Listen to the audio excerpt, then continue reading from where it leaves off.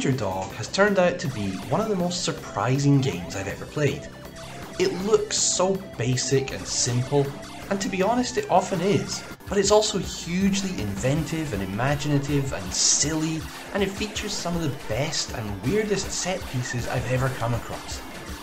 Published by Hanaji Games, who kindly supplied me with a copy, Ranger Dog sees you take control of one of three spacefaring canines, complete with lolling tongues and running leg animations, on a quest to, I don't know, defeat some cats, maybe, across seven horizontally scrolling stages.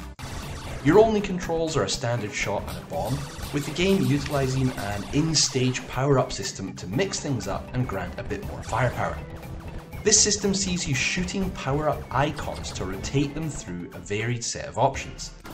Two of them are just variations to your main shot, different for the different dogs, but one usually being a variation on a weaker spread shot, and the other a more powerful focused shot. You can also add one from two missiles, again different for each dog. Both shots and missiles can be leveled up through 5 power levels, Although beware, collecting and switching to the alternative shot type does not maintain your current level, and each weapon has to be upgraded individually by repeatedly collecting the same shot type one after another. If you're happy with your shot power levels, there are three more rotations the power-ups offer. One is a screen clearing bomb, which you can collect and stack up to three of. One is a speed boost, and the last is a protective shield that essentially functions as an extra life. In fact, it's actually even better than an extra life because in Ranger Dog, taking a hit and losing a life sees you drop your powered up weapons down to base level, whereas taking a hit when shielded prevents this most frustrating of punishments. Two of the dogs also have an extra power up, which grants you up to four additional options to provide further firepower, although these can get a little visually confusing as they do look like miniature versions of your dog. At the start of each stage, there is a rather slowish introductory section, which sees you flying through space, and the game usually offers up a couple of Gradius style formations for you to shoot and collect a few power ups before the real fun begins. Once past these introductory sections, the background changes and the stage proper begins. Stages are, well, varied is one way of putting it. You might find yourself in a kaiten sushi restaurant shooting seaweed, fish, and rice. You might find yourself in a construction yard battling hard-hatted animal workmen, or you might find yourself in some sort of casino blasting away at flying slot machines and trying to catch the coins contained within. And it's not just the backgrounds and enemies that are weird and wonderful, some of the stage progressions and obstacles are truly unique as well. The aforementioned casino stage is perhaps the best example. As the stage begins, you're instructed to collect as many coins as you can.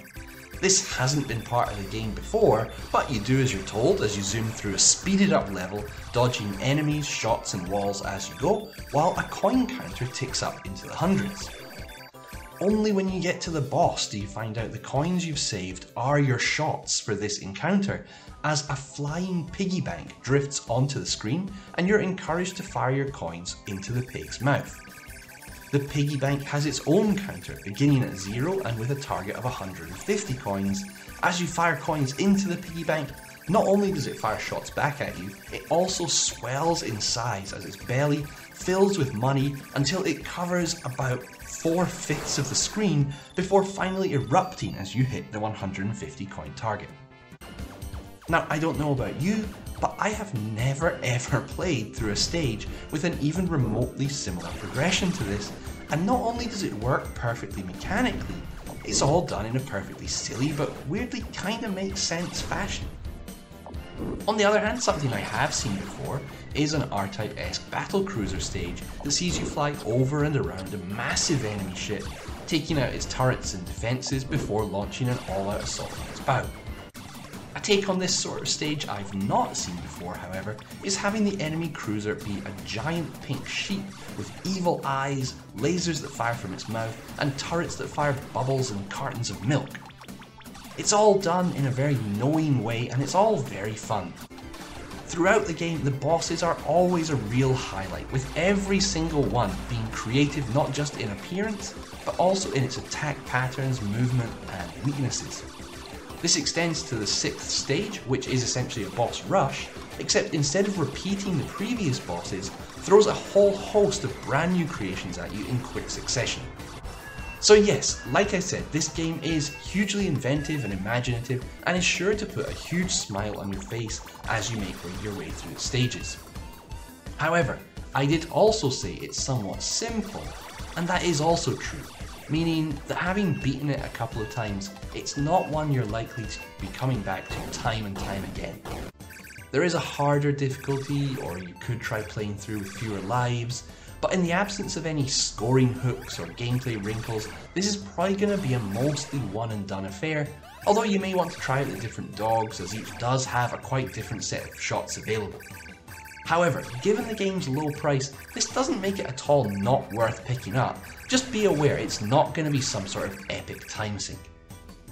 And replayability isn't aided by those early stage sections either, which while serving a purpose in terms of getting you up to a decent power level to face the main stage, don't offer much in the way of engagement, especially not on repeat plays. However, those first few plays do make the game a worthwhile purchase.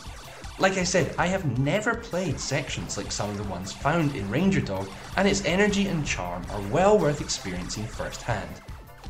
Don't go in expecting a masterpiece of refinement, but don't write this off either. It's fun, it's imaginative, it has some of the best and most unique set pieces I've ever played through, and the boss fights continually throw up new and inventive surprises that make this a game I'd happily recommend giving a go. It lacks replayability, but it's still worth it at its price, and I'd give it a 7.5 overall.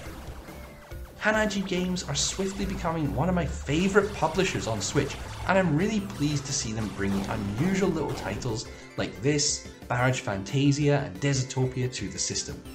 And they're also hopefully bringing Mecha Ritz Steel Rondo to us later this year too. Let me know in the comments if you check this out, and thanks very much for watching. See you next time. Cheers.